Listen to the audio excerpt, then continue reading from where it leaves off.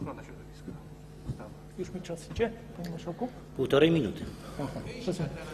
Dobrze. e, Panie marszałku, panie ministrze, nawiązując do tej debaty, która odbyła się na tej sali, chciałem zadać no, dosyć oczywiste pytanie. Czy rzeczywiście e, w 40-milionowym państwie położonym w środku Euro- Europy powinno tak być, że e, po roku dostosowuje się, prawie już po roku, dostosowuje się prawo do istniejącej e, rzeczywistości?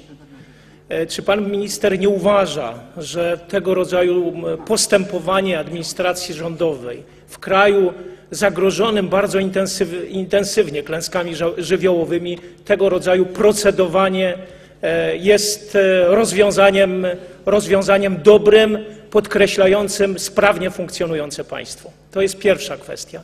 I druga, no właśnie dotycząca tej rażącej sprzeczności, o której mówił także pan poseł Zieliński, to znaczy, że instrumenty, a więc służby, inspekcje i straże, a w szczególności Straż Pożarna, zostaje w rękach ministra e, spraw wewnętrznych, natomiast kompetencje w zakresie e, przeciwdziałania e, klęskom żywiołowym i usuwania ich skutków przechodzi do innego ministra. Czy rzeczywiście w sytuacji, kiedy takie klęski żywiołowe zajdą, podział, ten podział będzie sprzyjał zapobieganiu klęskom i ewentualnemu zwalczaniu ich skutków. I wreszcie ostatnia refleksja. A, jest e, pan, pan, pan poseł, który w imieniu klubu PSL za, za, zadawał pytanie. Z tego co pamiętam, panie pośle, pan nadzorował Straż Pożarną zupełnie niedawno.